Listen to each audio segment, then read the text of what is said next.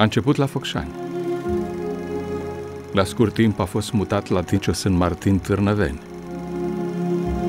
Apoi a urmat Stupini Brașov.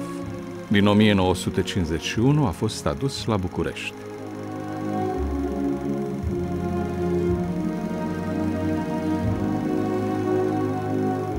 În 1997 s-a deschis campusul universitar din Cernica.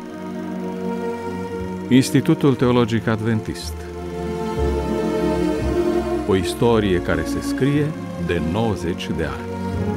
Vino la Cernica în 18-19 aprilie pentru un sabat aniversar.